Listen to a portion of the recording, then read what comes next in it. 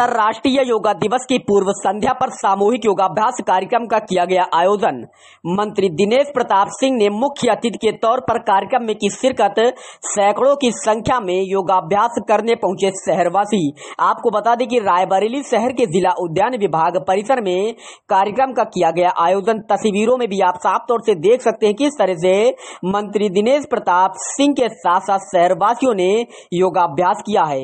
वहीं सैकड़ों की संख्या में शहरवासियों ने योगाभ्यास किया है। रायबरेली शहर के जिला उद्यान में कार्यक्रम किया गया है। वहीं मंत्री दिनेश प्रताप सिंह ने मुख्य अतिथि के तौर पर कार्यक्रम में शिरकत की है। मीडिया से बात करते हुए मंत्री दिनेश प्रताप सिंह ने योग के बारे में लाभ बताया है। आपको बता दें कि सामूहिक योगाभ्यास कार्यक्रम में शहरवासियों ने भी शिरकत की है और योगाभ्यास किया है। वही ये जानते हैं मंत्री दिनेश प्रताप सिंह ने क्या कहा। लगातार देश को सांस्कृतिक रूप से मज़बूत करने का प्रयास किया जा रहा है। हम आप सब जानते हैं कि योग एक ऐसा माध्यम रहा है, पुरातन काल से हमेशा लोगों को स्वस्थ रखता था।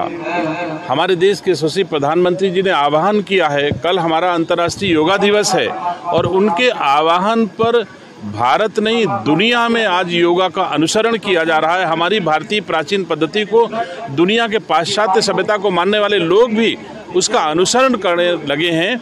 कल अंतर्राष्ट्रीय दिवस है, योगा दिवस है।